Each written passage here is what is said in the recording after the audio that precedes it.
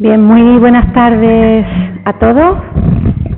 Les doy una muy calurosa, hay que decirlo, bienvenida a la presentación del libro George Tignor y la Fundación del Hispanismo en Estados Unidos, publicado por la prestigiosa editorial académica iberoamericana Berwer y cuya edición ha corrido a cargo de nuestro académico de número, ilustrísimo señor don José Manuel del Pino Cabello. Como presidenta de la sección de letras de esta academia, es para mí un enorme placer y también un orgullo dar comienzo a este acto en el que la comunidad académica, la comunidad científica, traslada a la sociedad su quehacer haciendo extensivo el conocimiento, que es una de nuestras principales misiones. Y con este acto también auspiciamos la convivencia eh, en torno a las nobles artes eh, y, bueno, sin duda lo son la literatura y, su estudio. Quiero agradecer profundamente a José Manuel del Pino su deseo de comparecer hoy ante todos nosotros en su tiempo vacacional. Y también, como no, a nuestro académico Francisco Javier Torres, que nos acompaña en la mesa, eh, hará las veces de lector interesado en la obra, porque ya ha tenido el privilegio de leer el libro. Y sobre todo confiando que, en el diálogo eh, se enriquece cualquier circunstancia. Aunque creo que nuestro protagonista es bien conocido en estos sus lares antequeranos, donde sin duda es profeta, y pensando especialmente en aquellas personas que nos ven hoy en directo o que en un futuro puedan hacerlo a través del canal YouTube de la Academia y quienes eh, quizá eh, no, no, tengan eh, su referencia tan cercana, cumple decir siquiera unas palabras sobre la trayectoria profesional de José Manuel del Pino. Se licenció en Filología Hispánica en la Universidad de Málaga, se doctoró en Princeton University y es en la actualidad catedrático de literatura española en Dartmouth College, New Hampshire, en Estados Unidos. A la luz de sus publicaciones más relevantes, puede afirmarse que dos son sus líneas de investigación más reconocidas. Por una parte, la literatura española de vanguardia, con títulos como Montajes y Fragmentos, una aproximación a la narrativa española de vanguardia, de 1995, o del tren al aeroplano, ensayos sobre la vanguardia española de 2004. De otro lado, y en relación directa con la obra que nos ocupa hoy, son de obligada cita sus acercamientos a la historia del hispanismo norteamericano y a las relaciones entre ambas culturas. Citamos su coedición del volumen El hispanismo en Estados Unidos, discursos críticos, prácticas textuales del año 99, América de Beautiful, la presencia de Estados Unidos en la cultura española contemporánea de 2014, o el impacto de la metrópolis, la experiencia americana en Lorca, Dalí y Buñuel de 2018. Sirvan estas obras de somera referencia a una extensa nómina de artículos y monografías de amplio espectro sobre literatura española contemporánea. Eh, quiero citar aquí eh, haber sido reciente editor de la obra de José María Merino, eh, sobre cultura española en general, y quiero también traer aquí los textos que, que ha realizado sobre cine español, y sobre la enseñanza del español y las conexiones transculturales. Como buen antequerano de pro, también escribo versos, todo lo da la tierra, y bueno, de, de ello, pues aparte de la actividad y de la visita que amablemente ha coordinado Sebastián esta semana y que ha sido muy eh, entrañable, pues tengo que decir que ha publicado tres libros de poemas y ha participado en numerosas revistas y antologías poéticas. Y con fino ojo crítico y lleno a la vez de esa sensibilidad que le da el ser poeta, se acercó a la obra poética de nuestro segundo invitado, de, Francisco Javier Torres, como autor del prólogo de sus notas para un libro futuro en 2020. Yo tuve la ocasión también de presentar, junto con Vicente Fernández, ese poemario global de, Paco Torres y he de confesar que echamos en falta a José Manuel. Así que hoy nos resarcimos y quedan reunidos en la misma mesa con papeles invertidos y en testimonio pues no solo de la amistad que los une, sino también de la admiración que se profesa. siento que esto haya sonado un poco a oficio matrimonial. Eh, hace justo unos días, en un tribunal universitario, y parafraseando a Roland Barthes, un colega recordaba su frase de que la historia de la literatura es un objeto esencialmente escolar que no existe más que porque se enseña. Justo en un paisaje cada vez más clarividente de distinción entre literatura e historia de la literatura, sinónimos hasta no hace mucho, y en el que la nueva ley educativa en España, la LOMLOE, llevada de los tiempos posmodernos, apuesta por la experiencia literaria y por su disolución en la esfera de lo sociocultural. Salvando los contextos oportunos, y, por supuesto, con todos los respetos a Roland Barthes y a la pedagogía normativa imperante, la historia de la literatura se enseña porque también se escribe. Y ello constituye ya un hecho en sí histórico y, por tanto, no solo digno, sino preciso de ser estudiado y conocido. George Tignor fue el autor en 1849 de la primera historia de la literatura española que puede ser denominada así por su organicidad y su coherencia. No deja de ser curioso que este nacimiento fuera fruto de un ambiente nacionalista y por tanto político y romántico, nada más reivindicativo de la vivencia literaria. Esto es, un momento donde la literatura era concebida como esencia, en todas sus dimensiones, no como un sucedáneo. Tampoco deja de ser paradójico que fuese escrita por un norteamericano. Visitó Málaga a propósito, tres días estuvo por aquí, aunque no es de los que vinieron a Antequera. Bueno, a su figura, a George Tigner, a su figura y a su obra como fundador del hispanismo, queda dedicado este libro, al que luego José Manuel ya sin más dilación nos introduzcas en el sentido sajón de la palabra, de introduce, ¿vale? Eh, muchísimas gracias. Gracias.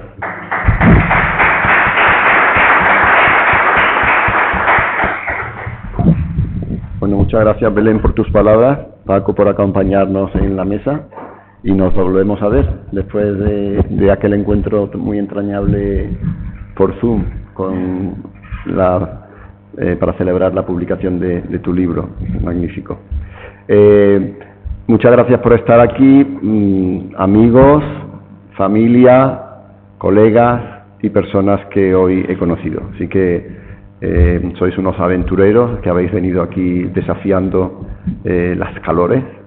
Pero bueno, yo creo que voy a intentar animaros para que no os resulte demasiado aburrido. Yo creo que el tema es fascinante, pero claro, el título uno diría, eh, ¿qué será esto? no? voy a, mm, me lo traigo todo leído, pero voy a intentar hacer digresiones para, mm, bueno, lo voy a usar como un guion. Eh, pues gracias de nuevo por, por vuestra eh, presencia. El propósito de, este volumen es celebrar la contribución de George Tickner al campo de las lenguas modernas y en particular de la literatura española. Tignor es sin duda un pionero en el campo del hispanismo, entendido como disciplina académica y práctica intelectual dedicadas al estudio de la lengua española y de la cultura de los países y regiones hispanohablantes, aplicándose en sus inicios a la labor realizada fuera de la península. El título del libro señala precisamente cómo el erudito de Boston se convierte de pleno derecho en fundador de una disciplina que no alcanza su madurez hasta consolidarse como ciencia humanística dentro del ámbito estadounidense durante el siglo XIX y primeras décadas del siglo XX. Su figura e impacto, conocidos por los especialistas, no ha gozado de suficiente reconocimiento fuera del mundo universitario y de la historiografía literaria, tanto dentro como fuera de España. Así que 200 años después de tomar posesión de la primera cátedra de lenguas románicas, de francés y español, en la Universidad de Harvard, en 1819, se publica este volumen como homenaje a las extraordinarias aportaciones de George Tigner. Como queda claro gracias a los ensayos de los diferentes especialistas que participan en el libro, su labor se centró, en, se centró en las reformas pedagógicas para la enseñanza de las lenguas modernas y en las reformas curriculares de la organización de los departamentos de lengua y literatura española. Y aquí hay muchos colegas que trabajan en la Universidad Española y como sabéis que cualquier cambio curricular disciplinar en un departamento pues no es cosa pequeña, ¿no? Tignor además se atrevió porque quería cambiar la estructura de la universidad. Sobre todo ello, la aportación de Tignor residió principalmente en el establecimiento de un programa racional de estudio de la literatura española, también francesa, diseñado para los estudiantes de su universidad, siguiendo para ello los avances disciplinares en el terreno de la filología e historiografía literaria de las universidades más avanzadas en los comienzos del siglo XIX, en concreto la Universidad Alemana de Gotinga, a donde el joven Tignor acudió a formarse entre los años 1815 y 1817. Su único viaje a España entre los meses de abril y octubre de 1818 selló definitivamente su vocación y carrera profesional. ¿Y por qué el joven George, Jorge Tignor, quería irse de Estados Unidos? Porque cuando él decidió aprender alemán no encontró un diccionario de alemán en toda Nueva Inglaterra Imaginaos el nivel, digamos, de precariedad eh, académica que, había en lo que hoy es Harvard, y todas las universidades de la zona. ¿no? Y dijo, me tengo que ir de aquí porque aquí no voy a aprender nada. Todo el enorme conocimiento atesorado durante décadas de estudio y de pasión bibliófila culminan en la publicación, como ha mencionado Belén, en 1849 en Nueva York y Londres, simultáneamente de su History of Spanish Literature, Historia de la Literatura Española, en tres volúmenes, y cuyo influjo persistió durante décadas. El hecho de que un estadounidense pudiese escribir una obra de este calado causó una auténtica conmoción entre los eruditos peninsulares e hispanoamericanos. Pero a pesar de las críticas puntuales que su historia recibió, la publicación aceleró el avance de la filología hispánica y la consolidación de su canon literario. Además, el que una figura de su prestigio intelectual hubiese decidido dedicar su vida profesional a la literatura española, que se valoraba muy poco en la época frente a otras literaturas europeas, como la francesa, la italiana, la alemana, eh, le daba al estudio del español garantía de, legitimidad en el mundo anglosajón y más allá de él. Su labor de fundador de los estudios hispánicos norteamericanos inspiró a una cohorte de especialistas entre los que destacan su continuador en la cátedra de Harvard, el poeta Henry Longfellow, y a ello siguió un buen número de profesores que poco a poco fueron ocupando puestos semejantes al de Tignor en numerosas universidades estadounidenses. El volumen, voy a, pasar, voy a presentar un poco el, el Tignor y su contribución al hispanismo y Tignor y su legado. ¿no? Es un volumen colectivo hecho por especialistas en diferentes áreas. Eh, ese volumen entonces se articula en, torno a una serie de trabajos que em, exploran sus aportaciones a las lenguas modernas, eh, su perfil de viajero, de profesor, de pedagogo, de historiador de la literatura y también de animador cultural en cierta manera, porque él contribuyó mucho a la, forma, em, a la fundación de la Biblioteca Pública de Boston con otros próceres locales. Era un, realmente fue un acontecimiento extraordinario porque las bibliotecas no eran de acceso público. Entonces él se empeñó en que la biblioteca tenía que ser de acceso público, era un proyecto pedagógico y patriótico para educar al pueblo americano desde la nueva república. Y su legado, su magnífica colección de libros está hoy en la Biblioteca Pública de Boston si alguno viaja a Boston, que visite el edificio, porque además todas las cubiertas son de Rafael Guastavino, así que el edificio es también eh, una gran eh, obra, digamos, donde participa un español tan prestigioso como Guastavino. Eh, el libro que ha mencionado Belén, en cierta manera, es el sucesor de una trilogía eh, que yo llevo haciendo con Iberoamericana sobre eh, los puentes culturales entre Estados Unidos y España. El primero se, llamó America the Beautiful, la presencia de puentes culturales entre España y Estados Unidos sobre cuestiones contemporáneas. Hace el 18 publiqué el... Son volúmenes editados, no son mis volúmenes, son yo los organizo, pero los, los participantes son profesionales y colegas. El siguiente es sobre el impacto de la metrópolis en Lorca, Dalí y Buñuel, principalmente en Nueva York, y después este más sobre el hispanismo eh, y George Tignor. Eh, bueno, ¿quién es este señor no? y por qué es importante? Eh, Tignor nació en Boston en 1791 en los ya independientes en los ya independientes Estados Unidos de América. Su, padre fue un hombre eh, adinerado, eh, pero no rico. Y su abuelo tenía una granja en New Hampshire, muy cerquita de Dartmouth College. Eh, cuando el joven George se iba a pasar el verano con su abuelo, tardaba una semana en llegar desde Boston a New Hampshire, ahora se tarda dos horas. Iban en carreta y atravesaban esos bosques tremendos pero él estaba, eh, digamos, muy fascinado con ese, eh, paisaje. Estudió eh, dos años allí porque su padre había sido alumno, pero Dartmouth en la época ahora es una universidad muy prestigiosa de la famosa Ivy League, de la Liga de la Enredadera, con Harvard y Yale y Columbia y demás. Pero entonces era como una escuela secundaria hecha en una casita pequeña. El edificio central se llama Dartmouth Hall, ahí están los eh, departamentos de lengua, y aquí mi amigo y colega Álvaro y Ana estuvieron visitándonos hace muy poco tiempo en Dartmouth, y la gente pues se reunía ahí, ahí veis que están patinando sobre hielo. Y esta es una acuarela de George, del joven George, que se aburría mucho porque era mucho más inteligente que el resto de los estudiantes. Y entonces él ya, digamos, se sabía todas las lecciones muy pronto y se dedicaba pues a, a pintar, a dibujar. Y el cuadro es el cuadro de Thomas Sully, que está ahora en el Museo de Dartmouth. Eh, bueno, pues George pasa dos años en Dartmouth, eh, se gradúa con 16 y su padre quiere que sea abogado, que tenga una un, un, trabajo práctico como tantos padres.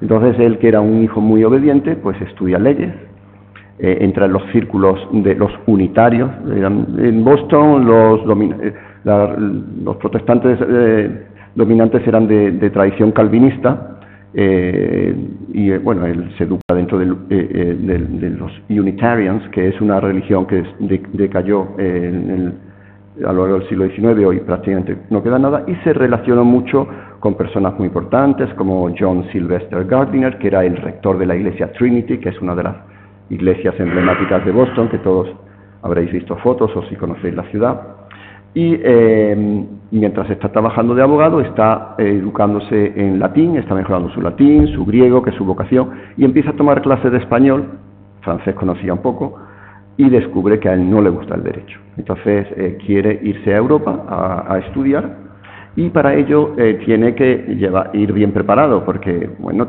tiene que llevar cartas de presentación. Entonces, a través de ciertas conexiones, pues se va a nada menos que a visitar a Thomas Jefferson a, eh, eh, a, Virginia y para visitar a Jefferson, que le dé cartas de recomendación para cuando vaya a Europa, pues le pide una carta introductoria al segundo presidente de Estados Unidos, que es John Adams. Así que John Adams le escribe una carta y le dice, aquí te mando a este joven, John Adams y Jefferson se, se llevaron muy mal. Al final de la vida pues se reconciliaron, eran políticos muy enfrentados, entonces, Tignor viaja en su carreta con su amigo eh, Gray, van a visitar a Jefferson, a Virginia, y eh, en Virginia pues pasa tres días. ¿eh? fue un viaje terrible en el mes de febrero, un frío tremendo. Aquí vemos un cuadro de Gardiner y este, esta gramática del español publicada por Francis Sales, que fue un exiliado francés que salió huyendo de la Revolución Francesa y que fue profesor en Harvard durante 30 años y eh, muy influyente en la construcción del departamento. Otra anécdota, cuando Francis Sala em, tenía más de 80 años, la universidad quiso echarlo porque ya era un señor que daba las clases muy mal, los estudiantes no le hacían ni caso, Y entonces la condición que puso Tignor cuando le pasó la cátedra a Baloncello fue que no lo podían eh, despedir, porque no existía jubilación y se, se quedaba realmente en la calle. Así que Francis Sala fue un protegido de Tignor. Eh, es un caso muy interesante de cómo funcionaba el mundo académico.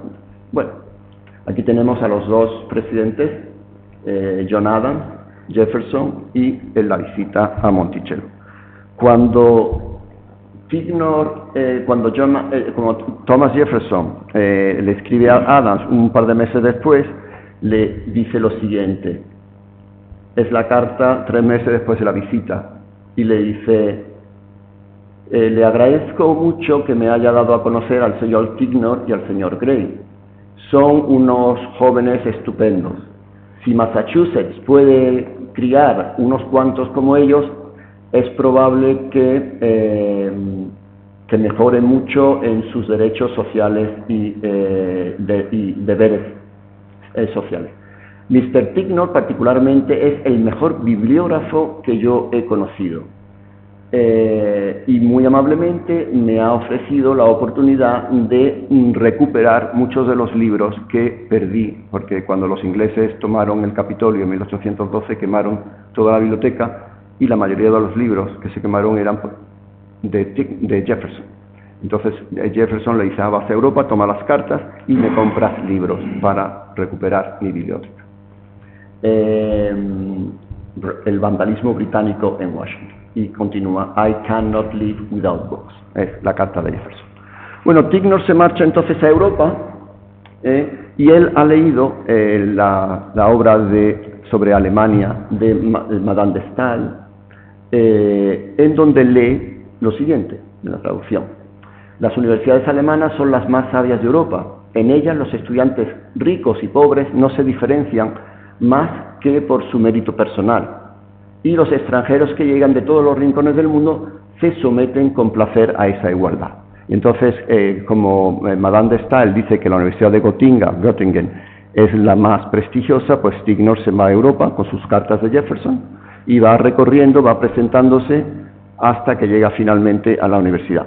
Cuando llega vive de una manera muy modesta y era una persona eh, muy estudiosa. Su jornada consistía en 16 horas de trabajo. Se levantaba a las 6 de la mañana, tomaba toda una serie de tutorías, iba a las clases, están las notas, están, eh, las he visto, las notas que tomaba, y el único entretenimiento que tenía era el esgrima eh, que practicaba y algunos paseos por, el, por, por los bosques de Gotinga. Así que así pasa dos o tres años, pero los veranos los aprovecha para viajar poner en, circulación sus cartas y él llega a conocer pues al marqués de Lafayette, a von Humboldt, a los hermanos Schlegel, a Chateaubriand y a la propia Madame de Stael, a la que visita cuando se está muriendo y la visita dos días antes de que muera. Entonces en el lecho de muerte ya lo recibe, porque para la gente Tignor era una curiosidad, porque un americano que sabía griego, que sabía latín, que para aprender alemán eh, se dedicó a traducir la obra de Goethe. Un ejercicio, bueno, voy a aprender alemán, voy a traducir la... sí, voy a traducir el, Werther. Eh, francés lo dominaba muy bien y además pues quiere aprender español también. Así que él se imaginaba un tipo burdo de esos bosques de Nueva Inglaterra y se encuentra con este joven que además era bastante guapo, muy simpático y muy culto. Así que por donde va, va creando una, eh, digamos, eh, simpatía natural. Cuando, voy a acelerar, cuando finalmente está ya en Francia y pensando regresar, porque era un chico muy eh, unido a su mamá, él era el hijo pequeño y echa mucho de menos a su hermana, a su padre también, a su madre, y dice, no, yo ya me, llevo tres años en Europa, me quiero regresar. Entonces le llega una carta de su padre diciéndole, y del, presidente de Harvard le diciendo, te ofrece, vamos a crear una cátedra de lenguas y literaturas románicas de francés y español. Y un, millonario, y esa tradición sigue en Estados Unidos, que había hecho muchísimo dinero comerciando con Latinoamérica, no olvidemos que están independizándose las repúblicas y el español empieza a ser una mercancía interesante porque se van a crear todos estos nuevos países, le ofrecen una cátedra y se la ofrecen a él porque él tiene fama de ser muy, muy culto. Pero eh, él no sabe qué hacer porque además el sueldo era bajísimo. Entonces escribe dos cartas a su padre una carta de aceptación y una carta de, de negación. Le dice, papá, tú mandas la que tú quieras, pero te digo una cosa, que si quieres que sea profesor en Harvard, me tengo que quedar seis meses o un año más porque yo no sé español bien y tengo que viajar a España a mejorar mi español. El padre que siempre apoyó eh, la, eh, la vocación de su hijo frente a otros más cerriles, le dijo, hijo mío, tú vete y además yo te ayudaré cuando vuelva porque el sueldo no daba para mucho. Así que eh, Tignor eh, pasa, decide ir a España. los diarios son maravillosos, lo ha traducido Antonio Martín Espeleta, de los originales que están en Dartmouth, que no se han publicado en inglés completos. no se han publicado en inglés completos. Y esa es la traducción de la mañana en que llega, cruza la Junquera por Cataluña y dice, esta mañana he salido temprano de Perpiñán. Mi medio de transporte ya me indicaba la llegada a un país escasamente medio civilizado. Ese es eh, el manuscrito, a la derecha. Tenía forma de carroza, pero un estilo tan antiguo como el arca de Noé. Poco después pasamos el Col de Pertus y algunos minutos después tuve ante mí dos columnas caídas con sus capiteles rotos, que marcaban la separación de ambos reinos. Comprendí que estaba en España y experimenté un sentimiento tan profundo y triste como no había vivido desde que partí. Así que se queda conmocionado por lo que encuentra, que es un país devastado por las guerras napoleónicas, desde el principio. Pero eh, él había comprado esa tarde el Quijote. Ya lo conocía, pero se lleva su Quijote como Madebecu y como tantos escritores va viendo España a través de la lente cervantina. Entonces va identificando. Eh, llega a Gerona y la ciudad está destruida, obviamente, ¿no? Y entonces dirá, eh, está en reconstrucción después del sitio de Napoleón y dirá sobre Gerona y después sobre Zaragoza lo siguiente. Ese espíritu, el espíritu heroico y patriótico, ha existido siempre en España y nunca en otro país. Muy interesante porque de Gerona destaca el patriotismo español y el espíritu, digamos, de eh, religioso que a él le choca muchísimo. Dice, nunca he visto tanto oscura y tanto servilismo religioso. De Barcelona le gusta mucho el paisaje, las huertas, y mm, dice, eh, Barcelona eh, he visto el fanatismo español el fanatismo por eh, el placer y el fanatismo por, eh, digamos, eh, del espíritu mercantil. Pero la idea de, la idea de el fanatismo en la península, ¿no? que le resulta por otro lado admirable. Cuando llega a Zaragoza dice, dice lo siguiente, el, si encuentro la cita que es magnífica y, para, y a los aragoneses tengo una colega que le encanta, pero más o menos viene a decir que mm, confiaría mi vida a un aragonés de clase baja, del pueblo, eh, por ser tan nobles y tan, mm, digamos, dignos en su pobreza. Y eso es una cosa que a él le admira. ¿Cómo un país que ha decaído tanto puede dar a esta gente tan generosa? Las condiciones de viaje son horribles. Eh, duerme en el suelo, la comida es muy mala, tardó unos 13 días en llegar a Madrid y le escribí a su padre una carta diciendo, he dormido en el suelo, eh, no hay cama siquiera, pero la gente es tan amable que la verdad es que me encanta. Dice, me lo, me lo paso muy bien. Y después veremos cómo sale y que te interesará eh, por el tema del bandolerismo.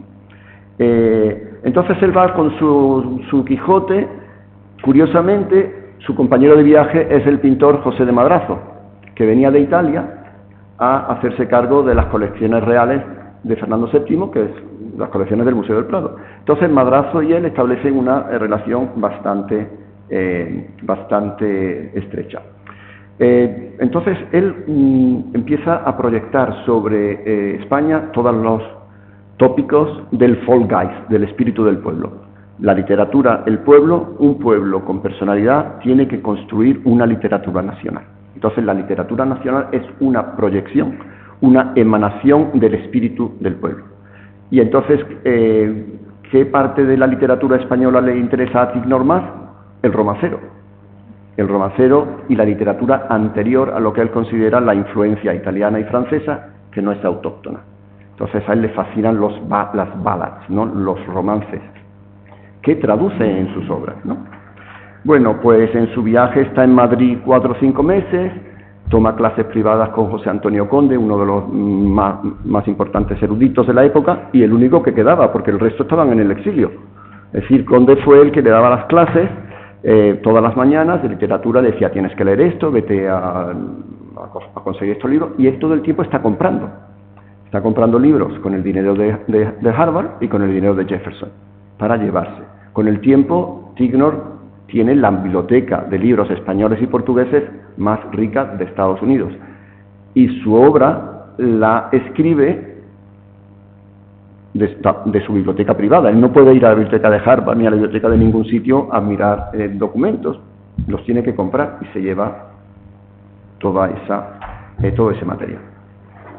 Em, Ahí está, rindo homenaje al espíritu del pueblo que defendió Zaragoza, ese espíritu que me siento satisfecho de haber conocido. Ha existido siempre en España y nunca en otro país.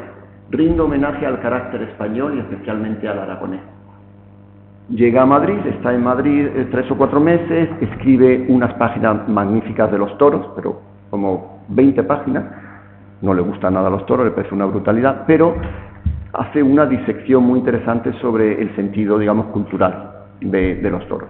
Va al teatro todas las noches, se mueve mucho en los círculos de los diplomáticos y de la aristocracia, que lo reciben en todos sitios porque, digamos, los círculos son eh, pequeños, y conoce al rey, a Fernando VII, en el teatro, y describe cómo es el teatro. Dice, del rey eh, solamente tengo que decir que es un vulgar desvergonzado. Eso es lo que dice el rey, al que conoció y con quien conversó. Eh, fue a una obra de teatro que parece que había, había muchas vulgaridades y entonces todo el público se quedaba callado y cuando decían alguna vulgaridad esperaban y cuando Fernando VII se reía, el público se reía. Dice, la reina, sin embargo, era muy digna y nunca se reía frente a semejantes vulgaridades. Continúa su viaje y, por supuesto, va a Granada. Diez años antes que Washington Irving. Cuando él llega a Granada, eh, visita la Alhambra entre el 25 y el 27 de septiembre, eh, y dice lo siguiente, los monumentos que distinguieron la ciudad para admiración del mundo pertenecen a la época que era un centro brillante, último refugio, esperanza del poder moro y gloria de España, ya que después el severo vigor juvenil de su fuerza e imperio se acabó, al igual que su lujo y esplendor. Y como mencionaba antes, él ve la Alhambra como una ruina, la Alhambra él no piensa, que nadie piensa que se va a convertir lo que se ha convertido después, es una ruida de una gloria pasada. Es una proyección romántica también, ¿no? Eh, la, idea de la melancolía, ¿no? la reflexión de la caída de los imperios. Y España, primero Roma, y después la España musulmana, y después el imperio español, son los ejemplos perfectos. Y él da, eh, escribe su historia como una lección moral de lo que no quiere que ocurra con Estados Unidos. ¿eh? No olvidemos que cuando él publica la obra, Estados Unidos está ya, se, está fraguando la guerra civil que está ya en el 61. ¿Qué observa entonces Tignor en España en 1818? ¿Qué le fascina y qué le repele? Por un lado, el catolicismo. Él es un protestante unitario y cuando ve esa ceremonia religiosa, le pueden interesar como manifestaciones culturales, pero eh, esas grandes misas, esa multitud de sacerdotes, el incienso, las imágenes, le parece prácticamente casi idolatría. No olvidemos que él es un calvinista de, espíritu. El patriotismo de los españoles también le fascina. El pintoresquismo, se sorprende por el atraso, cómo este país, que ha sido el imperio más poderoso durante dos siglos, está en este estado de decaimiento. Presente precario, minorías educadas, pero minoría, y un pueblo recio e inmutable donde reposan las virtudes de la raza. Es en el pueblo español donde están las virtudes del pueblo y de ese carácter nacional tiene que surgir una literatura nacional. Ese es un poco el modelo eh, tignoriano, que es en lo que él va a defender todo el resto de su vida, porque cuando él sale mm, de España ya no regresa, vendrá dos veces más a Europa, pero no regresa. ¿Cómo regresó Tignor a, Estados Unidos? Pues estuvo en Sevilla dos semanas visitando el Archivo de India, eh, la, Biblioteca Colón y maravillándose de lo que había allí, que después le pasa la noticia a Washington Irving, obviamente. Y entonces eh, le pregunta a la gente, bueno, ¿cómo me voy a, a Lisboa? ¿Cuál es el medio más seguro? Y le dicen, pues tienes suerte porque mañana sale una partida de contrabandistas y ese es el medio más seguro para llegar a la raya de Portugal. Así que él eh, se va a una posada donde hay 30 mm, contrabandistas con sus mulas y sus recuas, se presenta, ya habla español muy bien, los otros lo miran, este americano, y se lo llevan. Y pasa ocho días viajando de la Sierra de Sevilla hasta Badajoz y escribe que fueron unos días muy felices. Dice, era maravilloso, dormías al raso, eran gente que compartía todo, pero siempre además una aventura, porque siempre tenías un poco el miedo de que vinieran los, no sé si había migueletes entonces, pero que se armara allí un tiroteo. Cuando sale de, de, de, España va a Lisboa, vuelve a, a, Inglaterra, va a París a comprar más libros, en París conoce a Moratín y él siempre enseñó el sí de las niñas, el sí de las niñas es lectura obligatoria en Harvard desde 1820 eh, y va a, Londres de nuevo, donde pasa unos días con Washington Irving, después va a Escocia a visitar a Sir Walter Scott, que era para él su escritor favorito, y esa relación con Washington Irving yo creo que es el germen de, no solamente Tignos, pero es el germen de del proyecto de Washington Irving, el proyecto historiográfico y de la visita posterior a la Alhambra. Pues sigamos. Y, mm, lector interesado, ¿tienes algún comentario sobre lo que estamos sabiendo? Me interrumpe, la voy a hacer me interrumpes cuando quieras. Y por favor, si alguien, a veces los coloquios se hacen al final, pero si alguien quiere preguntarme algo o hacer un comentario, con, mucho gusto. Así le damos un poco de dinamismo. si alguien piensa que se está un poco durmiendo, yo siempre lo hago. Cuando me estoy durmiendo, pregunto. Te, hago ahora algunas, si acaso, y luego tú continúas con tu posición. Bueno, en primer lugar, buenas tardes. Y yo estoy encantado de acompañar aquí a José Manuel, lógicamente. Eh, ya tenemos muchos años de amistad, hemos colaborado y de verdad en muchos proyectos y yo le estoy a José Manuel muy agradecido, especialmente por lo que ha dicho Belén, la foto, esta foto yo me la debía al menos, no sé vosotros, pero yo estoy muy contento de que al final haberla obtenido realmente, ¿no? Eh, yo, aparte de estar aquí, yo estoy encantado de haber descubierto a George Ticknor, de verdad. A mí me parece un titán, de verdad, un tipo formidable, una cosa extraordinaria. No solo la, labor que, ha hecho de pionero con el hispanismo, de fundar el hispanismo, que tenemos que estar halagados todos, en cierto modo, ¿no? Eh, que, ya de por sí es ahora, sino por su personaje, personalidad extraordinaria, los viajes, las cosas, los contactos, los, has hablado tú ya, de, estar en contacto con lo mejor de la época, con Humboldt, con Metternich, con los Reyes, con, la, con con, con Goethe. Eh, a mí me ha parecido un, personaje de la extraordinario. En estos días que he estado ahí pensando en ti para, para hacer alguna cosita aquí y eso, por la casualidad tengo en el escritorio un número de 1958 de la revista Arbor, ¿vale? Del Instituto de, Investigaciones Científicas, la revista esta. Bueno, pues ahí hay un artículo de John Van Horne de la Universidad de Illinois que dice, que, o sea, que habla del hispanismo en Estados Unidos, ¿vale? En 1958, ¿vale? Eh, este hombre, el, artículo es muy sabroso, ¿eh? la verdad que está, muy bien. Y aquí también se dice, por ahí por algún lado, que la, historia de la literatura no ha sido, no ha sido superada todavía. ¿no? Entonces, una de las primeras cuestiones también se me, se me ocurren es, que, ¿qué opinas tú? Si esta obra de... eh, esta recopilación de artículos es maravillosa, ¿eh? ahora sí, pero la, la historia de la literatura de Ticknor, si se puede leer todavía con, con, provecho, con, con interés, se puede aprender algunas cosas. ¿no? A, mí, a, mí, me ha impresionado la cantidad de posibilidades que tiene ahí, que ofrecen ahí los, los, especialistas para conocer la obra de Ticknor. Pero, te, te, voy a contestar con una pequeña introducción para llegar a la pregunta, y mm, porque quiero que veáis un poco cómo llega a la historia de la literatura. Eh, precisamente para explicar si realmente sigue siendo eh, vigente de algún modo, ¿no? Entonces, cuando él llega a Harvard, él no tiene libros de texto, es decir, no voy a, ahora que enseño. Y entonces él tiene que diseñar un programa de estudios nuevo. No existe un programa de estudios. Es como si llega un matemático a enseñar matemáticas y no hay libros, tiene que crear él de la nada. Entonces él crea bueno, esto es la casa de Tignor, donde él, él llega a Boston y se casa con una eh, joven bostoniense mm, muy adinerada, la hija eh, de, Samuel Eliot, y una de las personas más ricas de la ciudad. Entonces, em, culta también. Entonces ellos se convierten en unos jóvenes cultos, eh, tienen una casa magnífica entre Park y Beacon, al lado de donde está el Capitolio de la ciudad. y desde allí, se, em, bueno, construyen, digamos, unos círculos académicos impresionantes.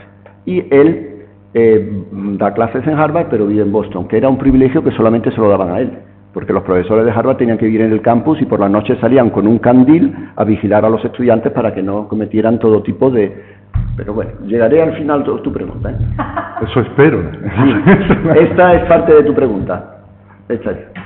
Tignor llega y en 1923 dice, bueno, ¿qué, ¿qué enseño yo? Y entonces él crea un syllabus, un programa sobre de conferencias sobre la historia y la crítica del español. Y estos son los documentos que están en Houghton Library en Harvard, hechos a mano. Lo hizo también para francés. Pero entonces él crea unas conferencias y escribió unas 35 conferencias que él dicta a los estudiantes. Y lo hace todo con sus libros. ¿eh? Entonces ahí tenéis eh, las lecciones, es el poema del Cid. El que no se ve muy bien, esas son las notas sobre el poema del Cid sobre López de Vega y allí está, cuando ya se publica el sílabus, las notas hechas a mano porque a él va mejorando. Los críticos eh, que han hecho a nos dicen que la historia de la literatura no supera esto, que lo que hace es ampliarla y sobre todo lo que él hace con la historia de la literatura de 1849 es buscar un público más amplio. Pero el público como en inglés, the intended audience, el público al que va dirigida es el público anglosajón, porque la literatura sale, eh, la obra sale en inglés. Y yo no, no, se supera hasta el final del 19, cuando eh, se publican otras, pero el modelo historiográfico, Paco, es... Bueno, eran, estas son las notas que él va tomando de todas las obras. Richard Kagan por aquí también. Sí, sí, que dice que, o sea, que hay una cosa que no que es todavía valiosa, eh, se, nutre la gente. Y ahora te voy a hacer otra cuestión también yo creo interesante. ¿Has, terminado? Pero un momentito, que quiero que veáis cómo es. Este es el, el índice.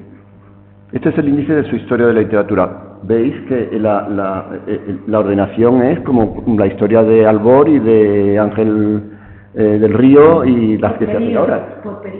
Introducción, eh, la literatura nacional temprana, eh, Alfonso X el Sabio, y la última página es la del tercer volumen, el teatro de la ilustración y la obra durante los reinados de, Carlos y Fernando.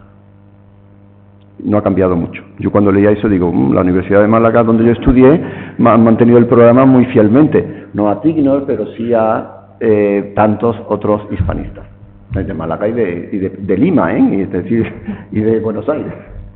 ¿Quieres continuar con tu exposición? O... No, no, no, no. bueno, yo a mí otra cosa que me ha llamado la atención es de, del artículo de Bruce Wayne, que yo creo que es uno de los mejores. Es muy interesante. ¿El artículo de quién, perdón?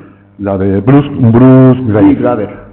Bueno, no sé, tu inglés es mejor que el mío. Sí, sí, sí, de Bruce. No, es un tipo... Eh, sí.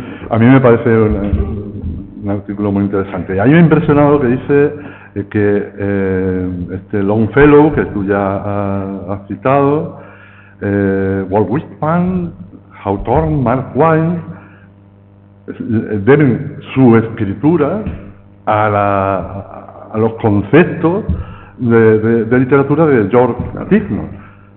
Eh, me, impresionó, o sea, porque al no conocer a este, a este tipo, que ya te digo que me ha parecido extraordinario. Y mi pregunta era, ¿tú crees que, o sea, ahora también se puede, se, puede distinguir algo ahora eh, a partir de esta gente que ya es histórica, digamos, más Twain o más...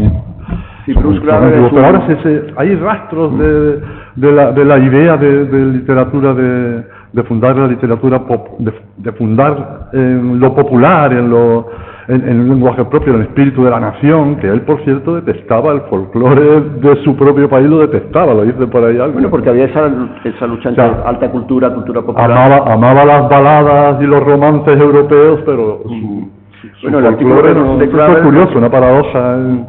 Lo que el artículo señala es que como no hay una historiografía de literatura norteamericana, eh, cuando se empiezan a escribir las historias de la literatura de Estados Unidos, eh, ¿cuál es el modelo? La historia de la literatura española de Tigna.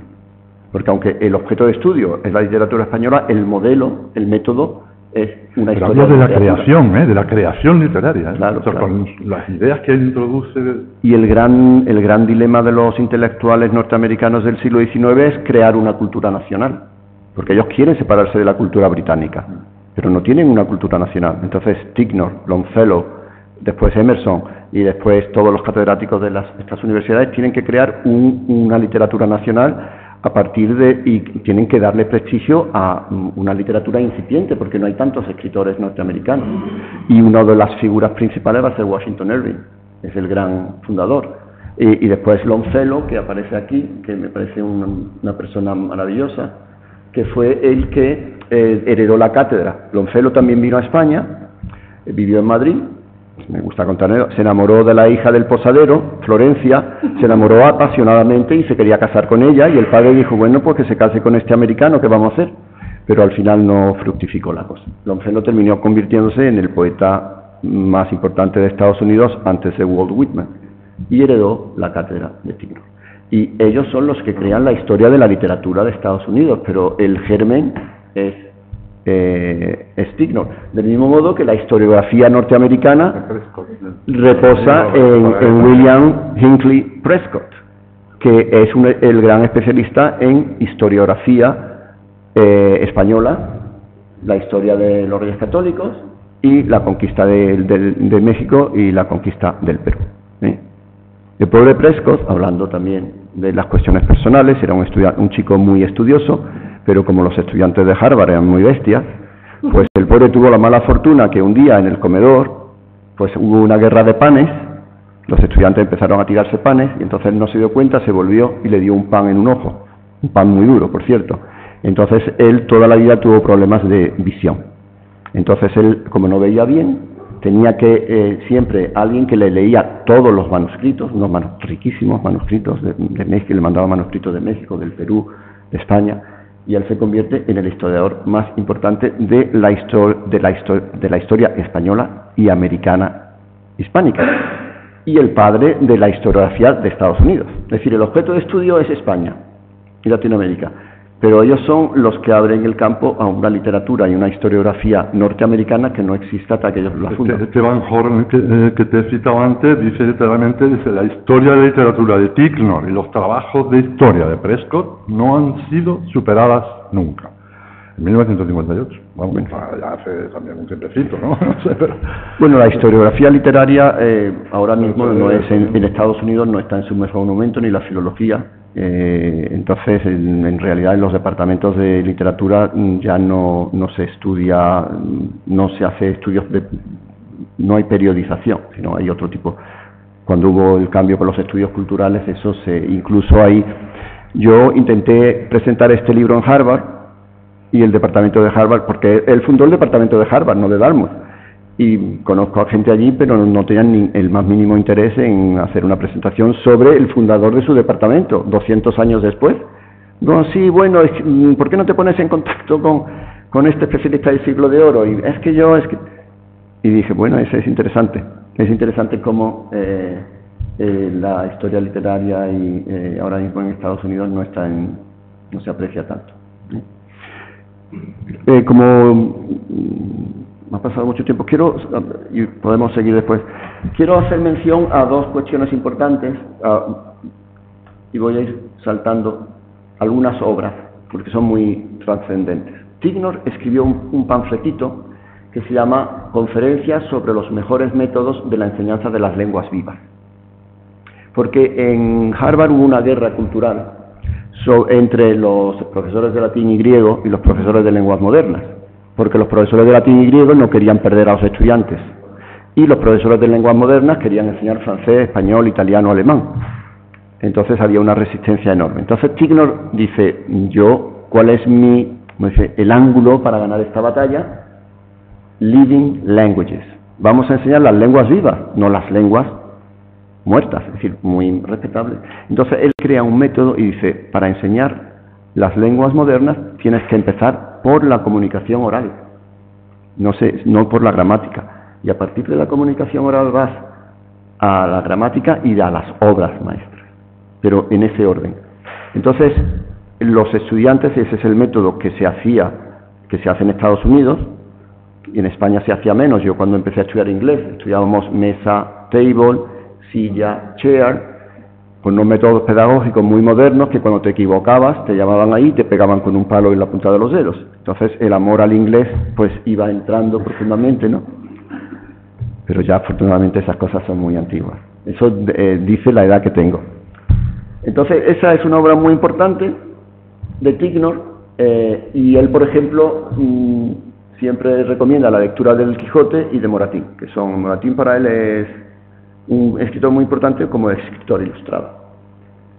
Eh, y después, bueno, está en la historia de la literatura, en donde en el prefacio va a hablar de esa idea de una literatura que emana de la tierra.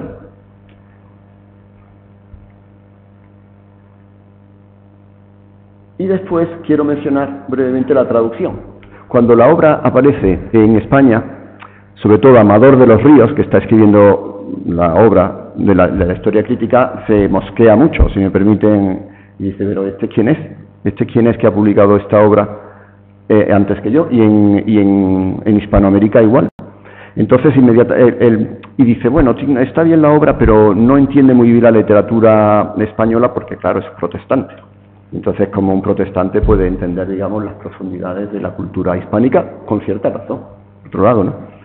Entonces se traduce eh, por Pascual de Gallangos, un gran arabista sevillano eh, y un hombre muy cosmopolita, que era el que le mandaba los libros a Tignos desde Londres, estaba casado con una inglesa. Hay una biografía magnífica de Gallangos que ha aparecido publicada eh, hace muy poco y su autor está en el libro y vino también a darnos al Congreso sobre Tignos del año pasado que yo organicé. Salieron cuatro volúmenes y uno de ellos es más bien obra de Gallangos y de Enrique Bedia y es una ampliación de la obra. Y yo creo que eso, volviendo a esa idea, eh, hace que la obra de Tignor sea esté vigente todavía. Dice, tú puedes hoy, hombre, tienes que, pero tú dices, voy a hacer una clase sobre Lope de Vega, y tú puedes irte a la historia de Tignor, y bueno, te da una visión muy, muy completa, eh, que tienes que complementar, obviamente, con toda la evolución, pero eh, creo que hay cierta vigencia en esta, en esta obra. Vamos a, bueno, fijaos la carta de Pascual de Gallangos, que lo criticaba mucho, y sin embargo, cuando le escribe a Tignor, le dice lo siguiente, perdón, de Amador de los Ríos, muy señor mío y de mi mayor consideración, el señor don Pascual de Gallangos, nuestro digno amigo, ha tenido la amabilidad de entregarme la atenta carta de usted que se sirve manifestarme su benévola atención por el primer tomo de mi historia crítica, que por su intermedio me atreví a remitirle. Es decir, cuando él publica la obra, Amador de los Ríos lo primero que hace es mandarle la obra a Tignor. ¿eh? Porque pero le había dado mucha caña claro, claro. de los ríos. sí, sí, Tignor lo sabía. ¿eh? la, la, furibunda, dicen por ahí.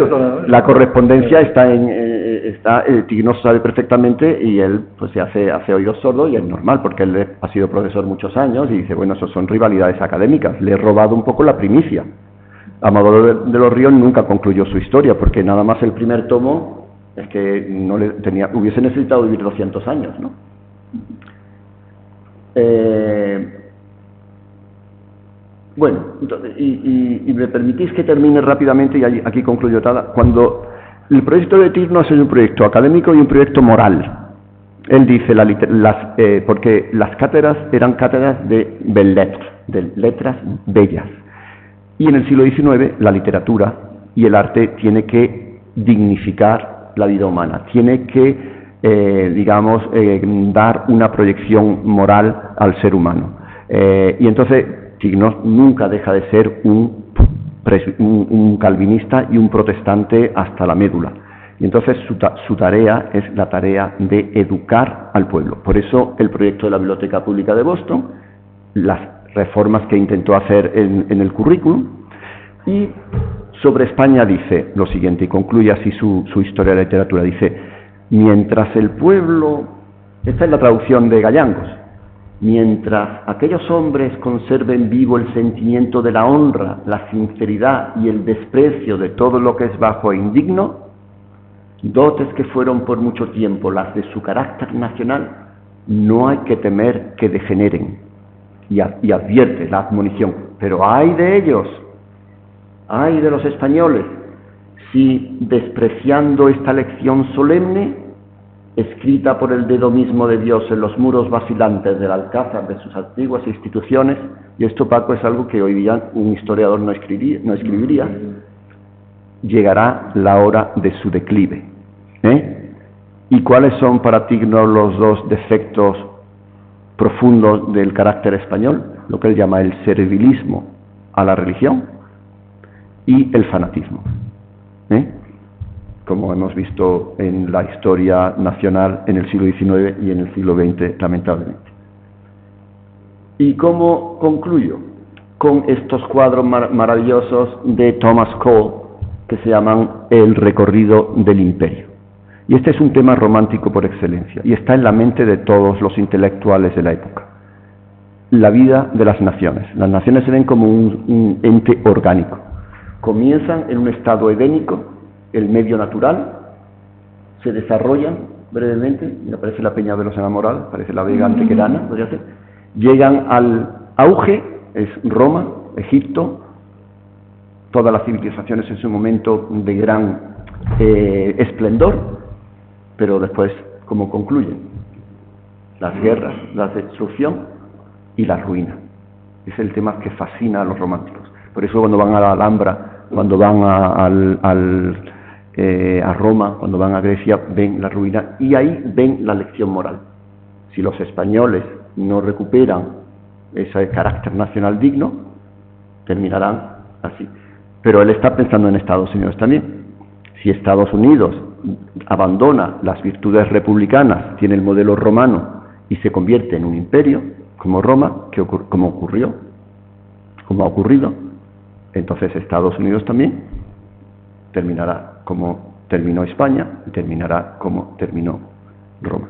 Claro, cuando él escribe esto es 1849, pero en 1871, cuando muere, Tignor está mm, moderadamente optimista, pero muy decepcionado porque se ha, eh, ha, visto la guerra civil de Estados Unidos. Y Tignor no era, era uno de los bostonianos que pensaba que Estados Unidos no debía luchar una guerra civil por la emancipación de los esclavos, sino que era algo, él estaba en contra de la esclavitud, pero era algo que mm, ellos pensaban que se iba a agotar, pero que Estados Unidos no debía luchar esa guerra porque iba a romper el país se equivocó porque el país superó, no del todo, todavía quedan ecos de esa guerra.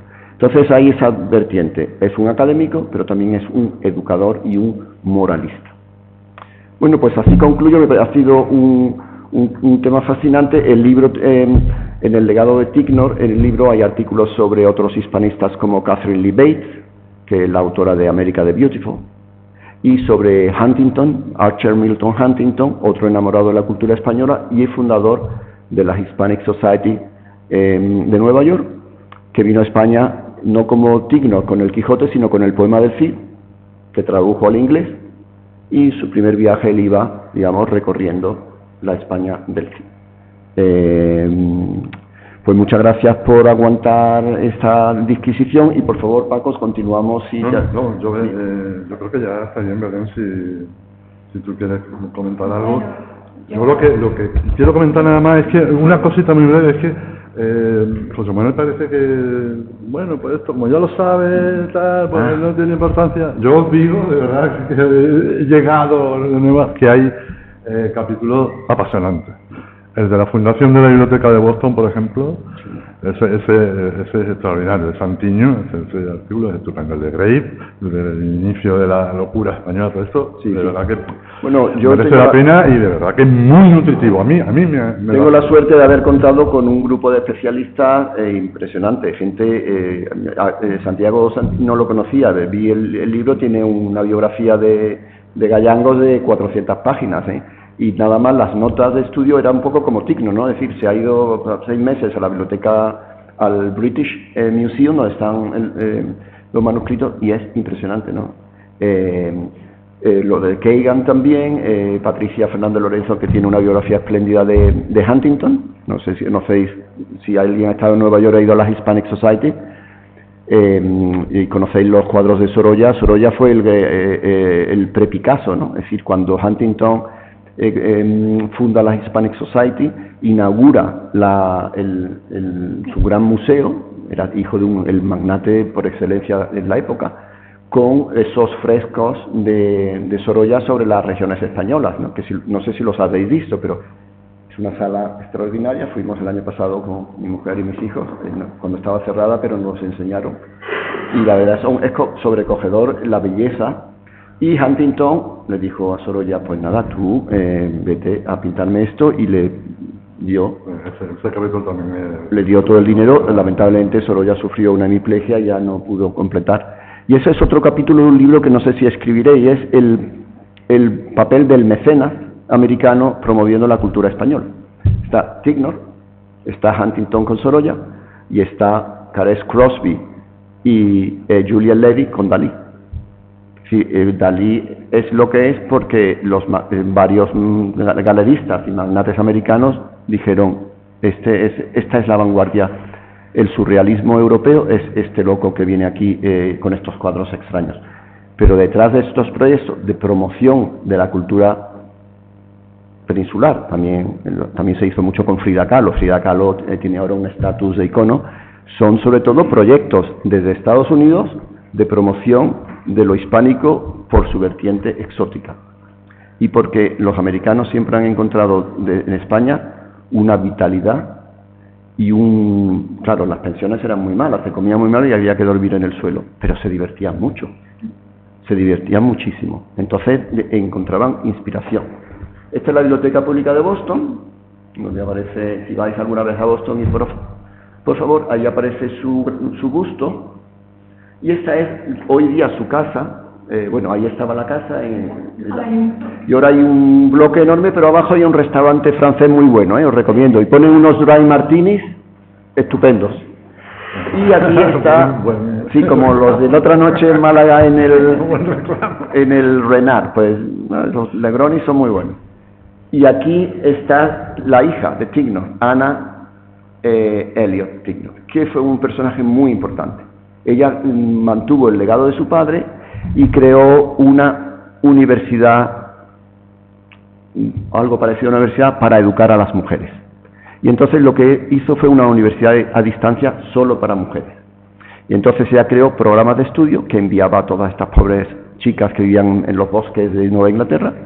Y eh, bueno, era una UNED.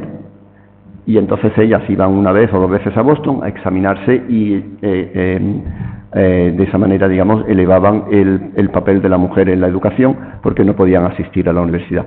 Y fue la que mantuvo el legado de, su padre y ya cuando murió ella, se, todo el manuscrito se dispersaron, fueron parte a la Biblioteca Pública de Boston, parte se quedaron en Harvard y otra parte se quedó en Dartmouth.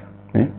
Y esto es el final, algunos de los libros inspirados en la biografía de, de George Tignor y los Brahmines de Boston, un libro de Kagan, es una recopilación que se llama Spain in America, con un cuadro de, de Sargent, se llama El Jaleo, un cuadro emblemático del Museo de Isabella Garner en Boston, si vais a ir a verlo, es fascinante. Y después el libro de Haxic, sobre, que el título es precioso, Ven conmigo a la lejana España, ¿no? ese viaje. España estaba muy bien porque no tenían que ir a Turquía o al norte de África, que era más peligroso. Entonces decían, vamos a España porque encontramos el exotismo oriental encontramos a Carmen, es una invención de Prosper Mérimée, y encontramos a, bueno, pues ese exotismo que buscamos en Europa sin tener que ir, porque hombre, las pensiones españolas eran incómodas, pero las turcas eran de peor calidad, entonces se quedaban en el sur. Y muchas gracias.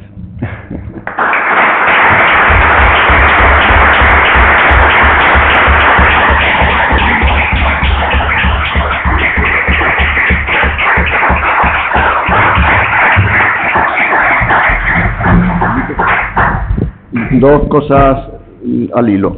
Eh, vamos a hacer una película documental con mi amigo, colega Álvaro García, que estuvo visitándome hace dos meses y entonces parte del libro va a ser hacer un documental sobre Tignor en Estados Unidos y Tignor en su viaje a España. Y bueno, estamos ilusionados y creo que puede quedar muy bien. Eh, quizá lo presentemos a algún festival. Y también quería decir una cosa más práctica, que el libro, lamentablemente, no mm, me da culpa, tenía que haber pedido a la editorial que enviara ejemplares, pero eh, se me ha ido pasando y entonces, gracias a los buenos oficios de mi hermano Sebastián, va a estar eh, en depósito en las dos papelerías, librerías, las descalzas. Y también eh, esta mañana he hablado con la directora de la editorial, Ruth Fairfuert, y me ha dicho que si alguien quiere que, que se, le mande el libro directamente, que simplemente, mm, eh, bueno, que ya lo manda sin, sin gasto de envío eh, si me dais la dirección. Eh, no sé ahora mismo cómo lo venden, creo que es unos 30 euros, no sé exactamente. A mí como me hacen 20% de descuento por autor, no estoy seguro. Si a alguien le interesa, pues que deje mm, su dirección, se la puede dar a Sebastián o a mí, o que espere una semana para que esté aquí en las el libro, el mérito está en la calidad de los colaboradores. Yo hago un artículo inicial, pero mm, digamos, el mérito está, como tú bien has señalado, en la riqueza de algunos de los artículos que son de auténticos especialistas. Así que, bueno, yo concluyo. Bien, yo simplemente unas palabras de despedida en dos sentidos. Una, eh, para contestar un poco a Paco en esa pregunta de la vigencia, es cierto que la obra de Tignor, para los que estudiamos o nos dedicamos a la historiografía y a ver los orígenes de por qué estudiamos lo que estudiamos en la historia literaria, hemos reparado en ello. Evidentemente no es realmente la primera, ya hubo algunas previas, ¿no? de Sismondi, de, su maestro Gutenberg, pero claro, eh, como él decía, mm, ellos no han estado en España. Ellos no han estado en España ni saben español. Y bueno, eran de programas más amplios sobre literaturas europeas porque estaba un poco eh, eh, en vigor ¿no? La, identificación de las naciones con, con su literatura.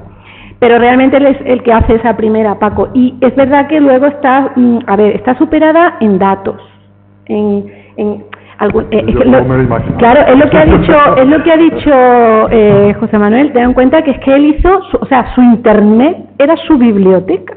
O sea, él no tenía otro lugar donde ir a buscar ni otras bibliotecas a mano que la que él mismo había. Mm, eh, totalmente. Entonces, claro, él construye una historia de la literatura con lo que tiene. Un mérito tremendo porque, mm, en fin, nos falta mucho de lo que hoy seguimos estudiando. ¿Pero por qué?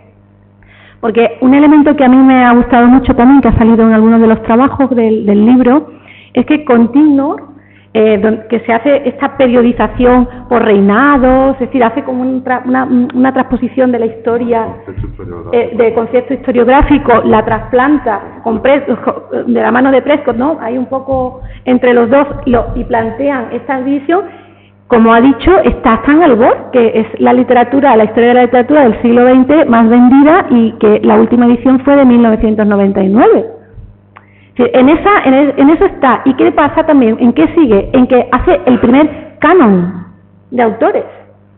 O sea, que si te dice Lope, siglo de oro, Lope, Calderón, Cervantes, un poquito Góngora y Quevedo, un poquito más todavía, pero ya está dando los nombres de los autores que tienen que representar cada periodo. Y eso ha variado muy poco. Digamos lo que es el canon mm, eh, el nuclear, o sea, los líderes que llaman, ¿no? De, los, de cada periodo eso mm, se quedó ahí y es que se ha ido repitiendo, por supuesto, enriqueciendo y demás. Es cierto que los propios traductores de eh, Gallangos y, y, Bedia hacen algunas correcciones en las anotaciones a la obra de, de Y hay un ejemplar en la Biblioteca Nacional mm, de España de una de la historia que está anotado por Cayetano Alberto de la Barrera, que también es mencionado por uno de los autores y al que yo dediqué un trabajo, en el que Cayetano Alberto de la Barrera está corrigiendo todos los errores que comete Tigno en, la, en, la, en, su historia, ¿no? Pero son datos y bueno, a veces de, pequeños desenfoques que tienen que ver realmente con la perspectiva con la que él está mirando, pero lo que es la, articulación y, la, y, los nombres fundamentales están. Y luego tiene algo muy importante, que esto es lo último que me gustaría comentar respecto al libro y también con futura proyección, que está tratado digno desde todos los puntos posibles, y es que lo interesante de esta historia es que, como él ha dicho, se iba traduciendo al alemán, al español, por supuesto, al francés, y cada una de las personas que se dedicaban a hacer esa traducción iban incorporando datos. Y este, por ejemplo, no está en el libro, pero yo lo detecté al estudiar a Boll de Faber como la mención de Boll de Faber en la versión española es mucho más pobre que la, que la que existe en la traducción en alemán, donde hay unas notas sobre Boll de Faber que no existen ni en la de Ticknor original ni en la traducción española. O sea, hay que hacer una edición crítica de las traducciones porque los eh, responsables de las traducciones de esta de, la de la claro y van enriqueciendo y la van haciendo vigente o sea la van actualizando de manera que se va que sigue siendo un elemento de, de, consulta. Claro la traducción tenía un volumen más. Claro.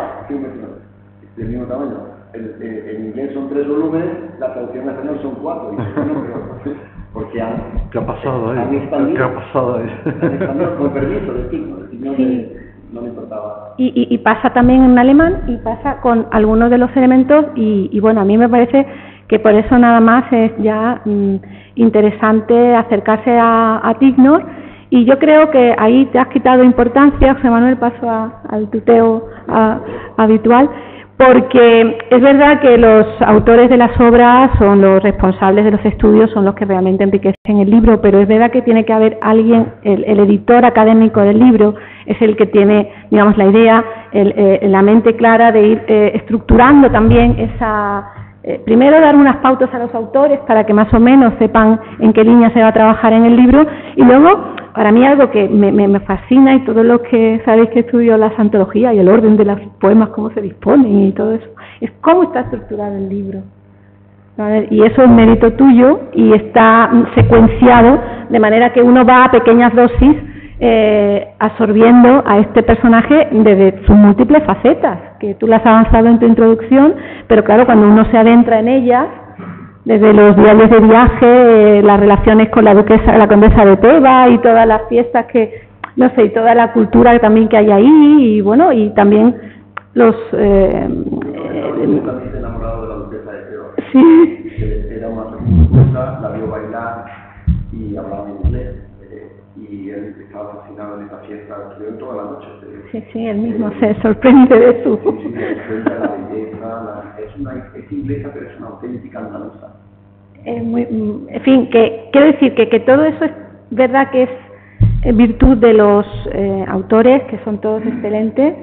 Yo estaba hablando también con Paco, hemos coincidido en algunos en concreto, pero en general. Pero es que es verdad que eso tiene que tener una secuencia para que el que lo lea realmente vaya teniendo y, y ese, ese empezar eh, eh, con, la, con, el texto inicial y terminar con Huntington como esa mm, eh, proyección y ese legado final tiene un sentido y, también forma parte de la vocación del libro, que es, mm, no es solamente presentar a Tignor y su obra, sino ver cómo eso realmente supone un legado y un, y un fundamento para, para entender otras cosas que vinieron después y que bueno, no se sabe las que van a ser, ya se, se verá. Muchas gracias a todos por, por esta tarde aquí con nosotros y nada, les emplazamos a, al menos a seguir interesándose en el, en, si no en también en el hispanismo y entender que no todo, que, que, que todo tiene un porqué y surgen las cosas de historias y de personas. Muchas gracias Paco y José Manuel. Hasta la próxima. ¿Sí?